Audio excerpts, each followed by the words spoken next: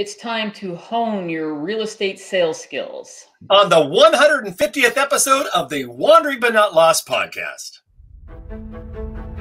Welcome to Wandering But Not Lost, your online source for finding balance so that you can align, connect, and prosper.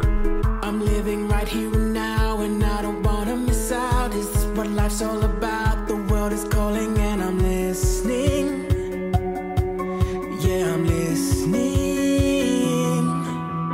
And now, your hosts, Jan O'Brien and Matt Emerson.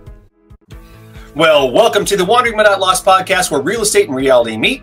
This is episode 150, and you can find all of our show notes over at WBNLpodcast.com. Jan O'Brien, kind of a milestone podcast. What the hell? It's the 150th and milestone first podcast officially in Florida. I, we've That's talked right. while I've been here and while you've been in Florida, but this is my new home. Moved here Right. two days ago. This is the initial setup, but wait until next week, folks. Can I just tell you, listeners and watchers, Jan O'Brien has had a goal to move to Florida for several years now. And, you know, the dates have kind of fluctuated. She zoned in on this last, this, this time of the year, you know, probably last, you know, about five, four or five months ago. Really wasn't that long ago when you said, you know what, I'm moving after the first of the year. And she made it happen. That is a, that is a true testament of uh, setting your intentions, uh, following your path, and actually implementing your plan. So I am so proud of you, Jan O'Brien, for taking taking that step, and I know you're going to be happy down there. I am. Thanks for uh, realizing that or bringing that to rea- to reality because I really did practice what I preach. I mean, I had Florida on my phone. I had everything intention and set up and just everything flowed with because I was really what I wanted to do. So that is how you make things happen. Goals That's right. So on happen. So this is what we're going to talk about today. We're really excited about all the new content and the new. I was just alluding to it. We, our other partner, Cosmo Morabbi, has got Matt and I really diving into becoming better videographers. Let's just say we've we've invested in the proper equipment so that we're going to be looking better, uh, higher quality for content for our training programs as well as our YouTube and our podcast. So I am, we're hoping the goal is there's no hoping. Next week, just tune in and check out our YouTube uh, channel. Definitely subscribe if you're not. Uh, like our videos so that you can get no- and hit the notification bells because you you know when you you definitely want to know when we have new content. I'm telling you, I'm really getting a lot of information from YouTube. I've switched gears after learning so much about it, Matt, because um, I'm here and not without we're not going to use cable. I'm staying with my sister now, and they have made the adjustment to just using streaming services and finding way other ways. And YouTube has so much content for live streaming and so forth, and getting the news. So there you have it, right? So now I've been very selective in who I subscribe to on uh, YouTube. So I only want to get the content from the creators that I like. That you want, It's right? an easy way to do things. So You're listening to the Wandering But Not Lost podcast, where real estate and reality meet. Join us and subscribe on Apple Podcasts, Stitcher, Spotify, iHeartRadio, Google Play, and now on YouTube. last week in the podcast we talked about certain activities that uh, daily activities really. If you really embrace them i believe you can two times three times your your goals your income.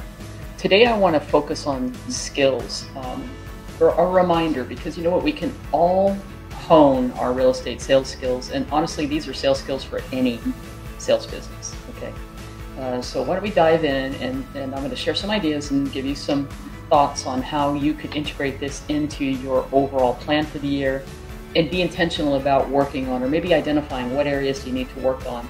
Because that also if you if you really hone and perfect these skills and go back to it or recognize that maybe you're not at great or one or two of them and you work on them then it's going to help you close more transactions. And there again double or triple your income okay? Right. so we have some content for you today. Uh, so let me go ahead and bring that up. And that is what we're going to talk about right here honing your uh, real estate sales skills. So what's the first one first set? Communicating and listening. All right so this is oh my gosh this is probably one of the boy if i could just get a hold of everybody every real estate agent and just say could you work on your communication and listening skills we would have such a better experience all around between us you know as professionals and between your clients So communicating is listening also. So the very first point I want to make here is you have to communicate in such a way that you can build trust and rapport with your customers.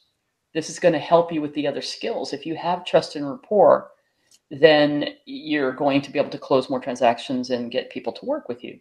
Now, two things that you can, two or three things that you can use with this that you need to practice and learn if you're not aware of it is being intentional with understanding personality styles and communication styles. Okay. So I'm going to, Matt, I'm going to share a different thing really quick here. And so these are notes. If you're watching on YouTube, obviously you can see it. But if you're listening to the podcast, I'm going to walk through it. Actually, I'm not going to pull it up. I'm just going to tell you that there's a download that you can get that walks through the personality styles that, if you want to call it DISC, if you're familiar with DISC, um, I use words like dominant or driver. The I is for the person who's the influencer, the promoter.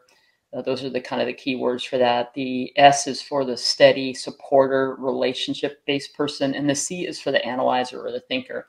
Anyway, there's a great document you can download today from our show notes over at wbnlcoaching.com that gives you the key buzzwords and the ways for you to very quickly. In fact, if you printed this document out and carried it around with you for a while until you you understand it better, it will really help you. It's a bit of a guide, a matrix, a grid for characteristics. What's their pace, their priority? What do they want? A person who's a DIS or C, what do they want you to be like?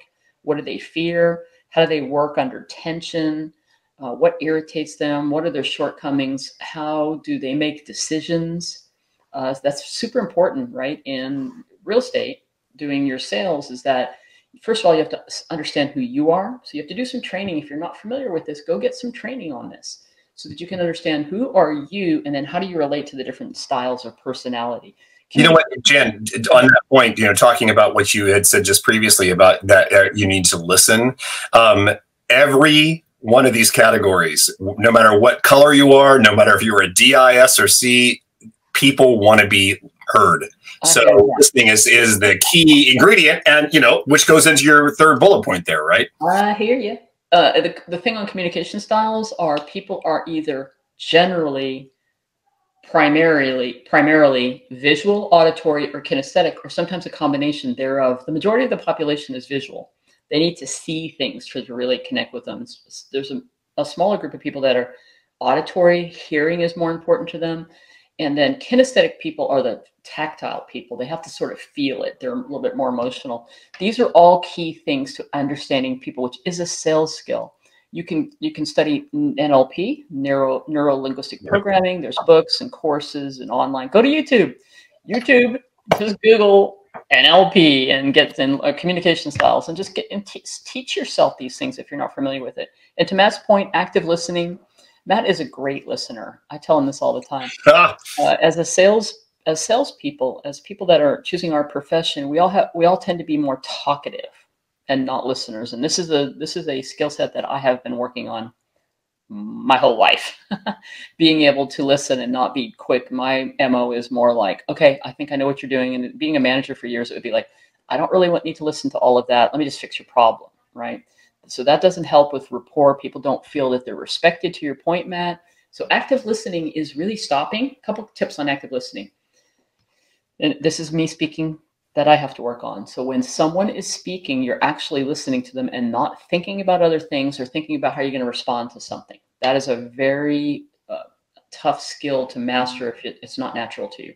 I think for you, Matt, that's more natural. You're really with somebody when you're listening to them, aren't you?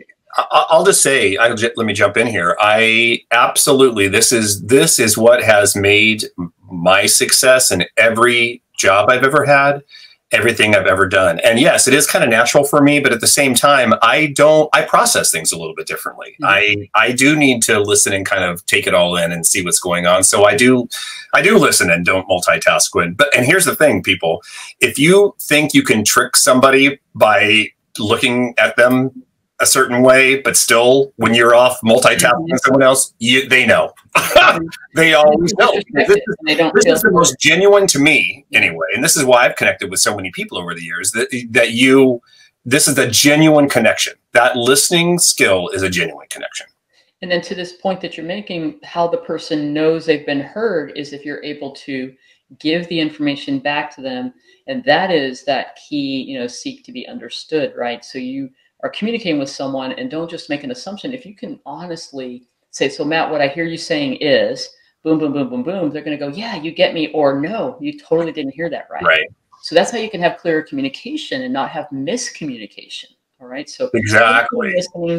This is something that just identify. So as I go through these today, my recommendation to you is to say, you know, rate yourself on a scale of one to 10 as I go through this. Where do you need some improvement? And then later you can put a bit of an action plan together and, and start working on this and being intentional with it. Okay, so the next uh, set of skills to master, to hone, to refine is base is prospecting and converting leads. Okay.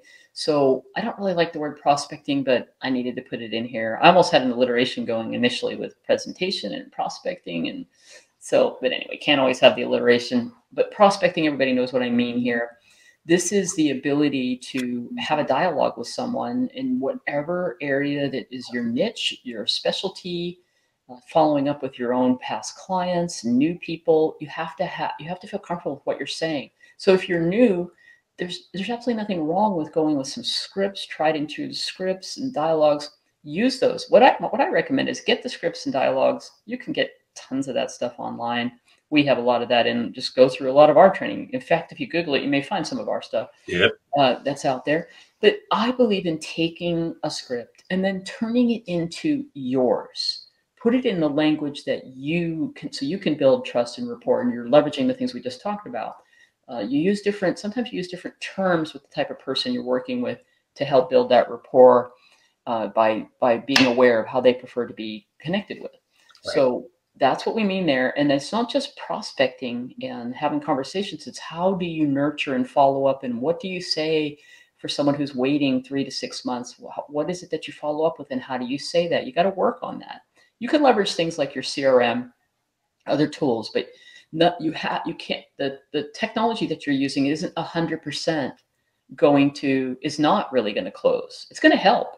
Don't get me wrong. If we teach this, if you if you let the CRM do the heavy lifting, the skill you've got to master is to be able to get on the phone with the person that you've been nurturing, the lead, and get them down the path to the place where they're ready to go out and actually look at houses or list their home for sale. Okay, so taking a prospect to an active lead is what I'm talking about working on. Okay, so how you doing there? Where's where do you rate yourself one to ten? What do you need to work on? Are you going to pick a new niche this this year? Are you going to start working to sell by owners, expires? Do you know what to say? There's plenty of ways to go get educated and trained on all of that, and you can do that right with us at WBNL Coaching.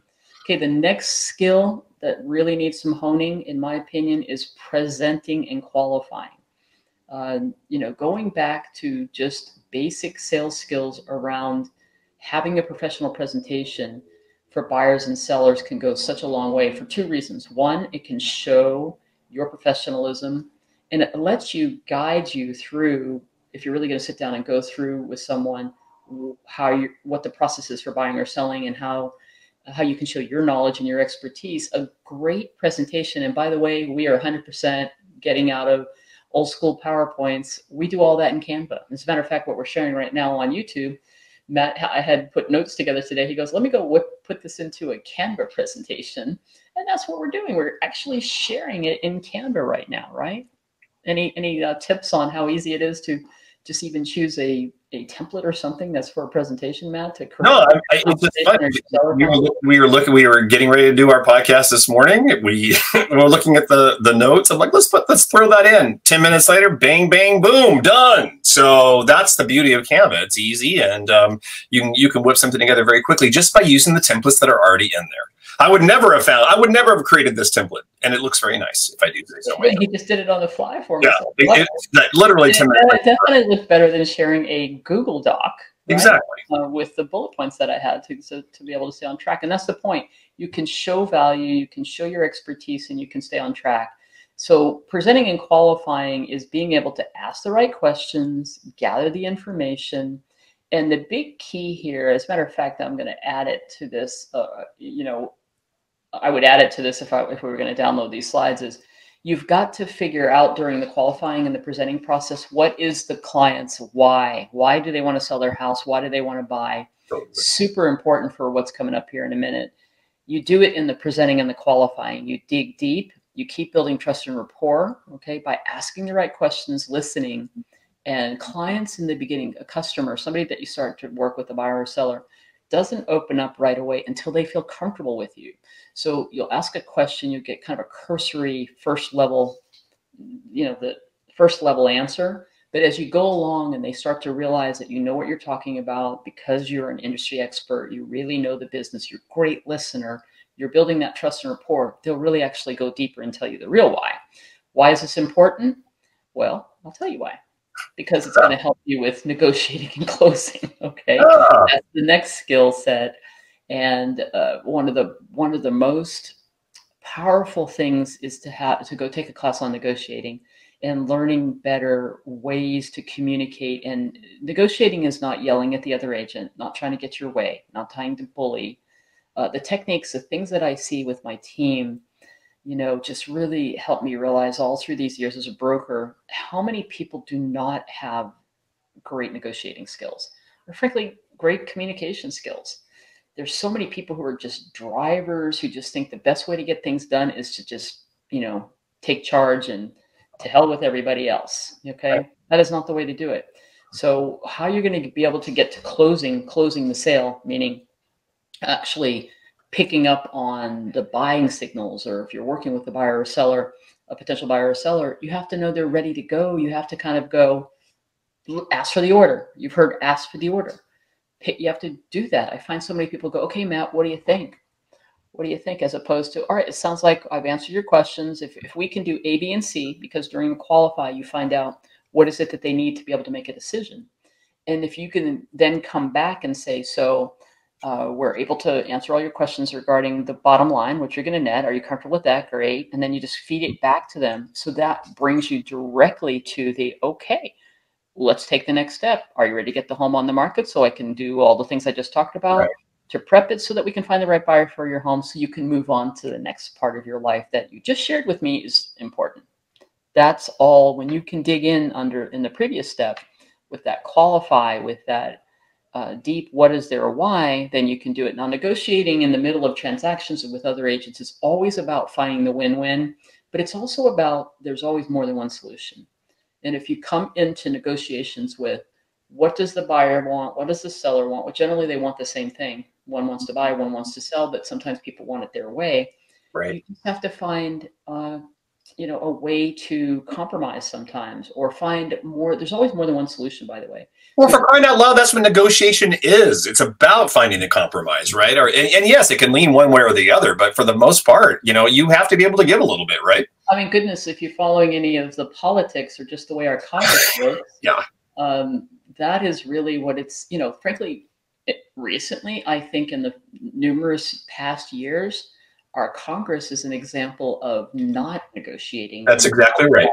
Not collaborate. What I mean is collaborative deal making is you find ways to for everybody to win. So, I'll give you an example of collaborative deal making in real estate uh, it to, just to go back to that point about our Congress is not about politics. It is about politics, but it's about this body. It doesn't matter. Uh, you said something to me the other day, and this is kind of important because it does bleed on down to who we are as salespeople and so forth. Is that our country was founded on differences of opinions. That's right. Everybody does not have to have the same the same belief systems and all that. That's what makes the country one of the many things that makes our country great the power comes from when you think about our founding fathers i mean i'm sure they had some knockdown dragouts and of course similar things that have going have got, gone on it's just amplified because of the media and the uh, internet and, and social media and so forth but can you imagine if we were back then? I'm sure crazy things were said back and forth between the parties. Hey, we we, we love Hamilton. We know we know what happened back then in song.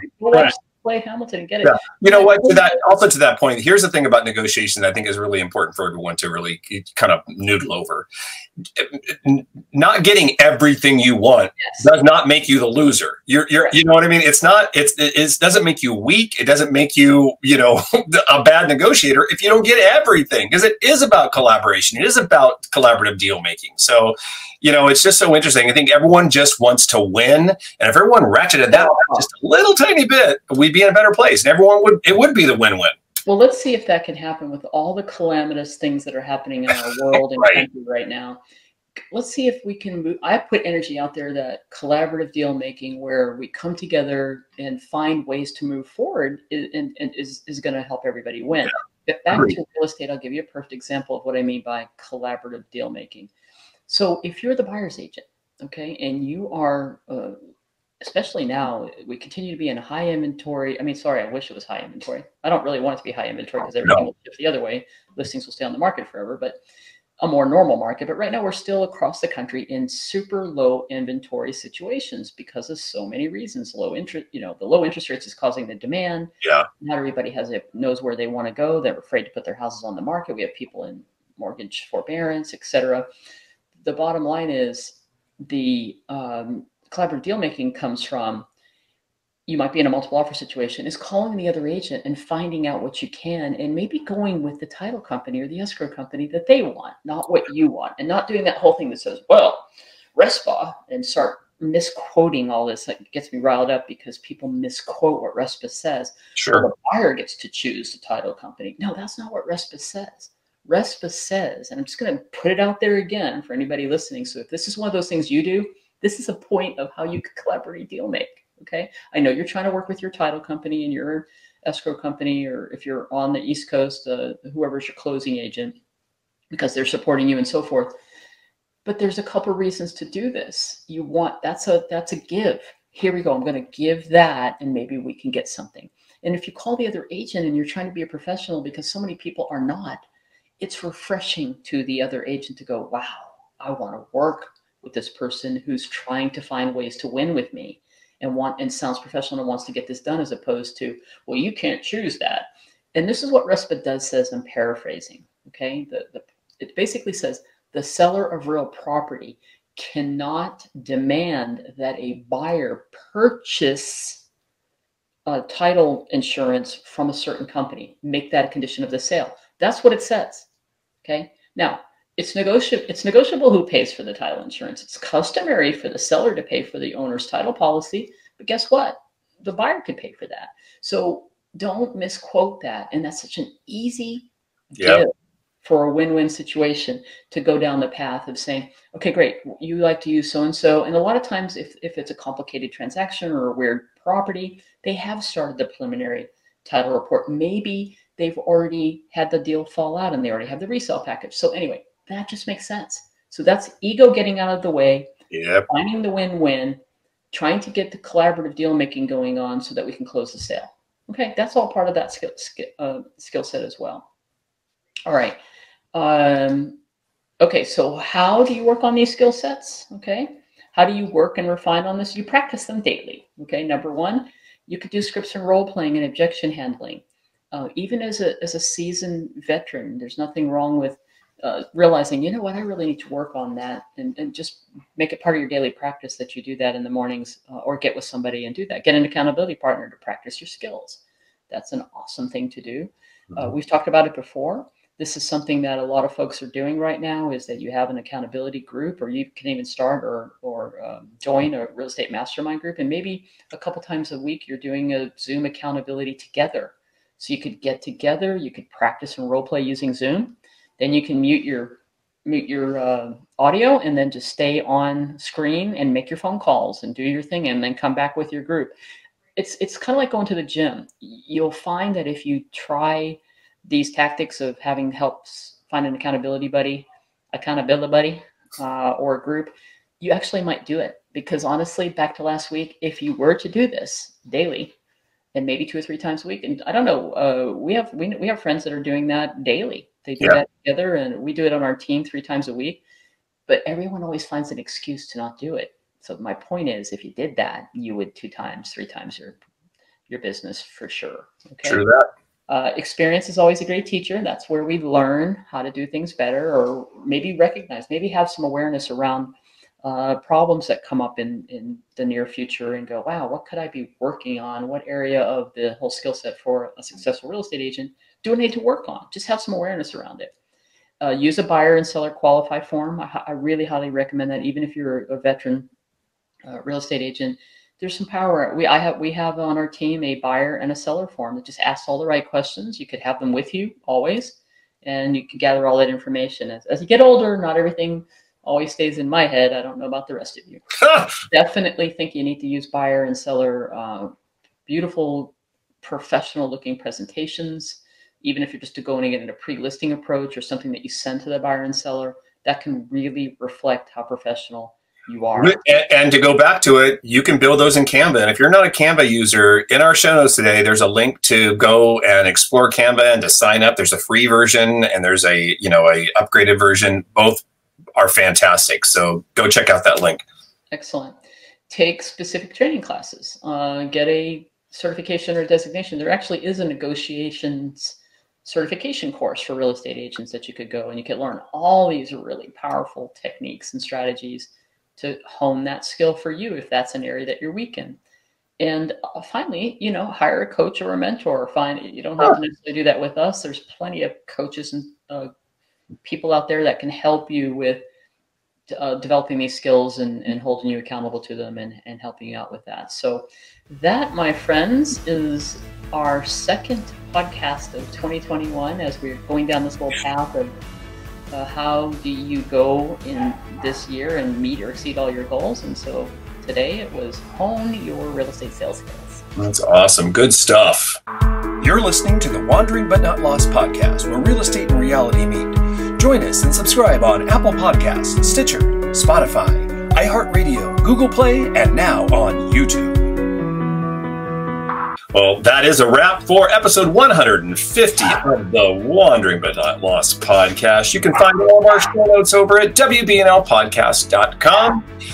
Uh, if you haven't already subscribed to our Facebook group, we would love you to join us. Go over to Facebook and you can go to the WBNL Wanderers Club. We'll, uh, you know, once we check you out, I'm just kidding. uh, asked to join, we'll let you in there. And then every single week, we are uh, serving up tips and tricks and hacks. Monday, we have uh, uh real estate and motivation and uh, inspirational tips from Jan O'Brien. Tuesday, Cosmo Morabbi jumps in with uh, some great tech tips. I do a Canva training every Wednesday. and then, of course, our WBNL podcast on Friday. So we have a lot of stuff going on and even more training and insights coming up in the future. Make it a great week, everybody. Yep, and be forever wandering, but not lost.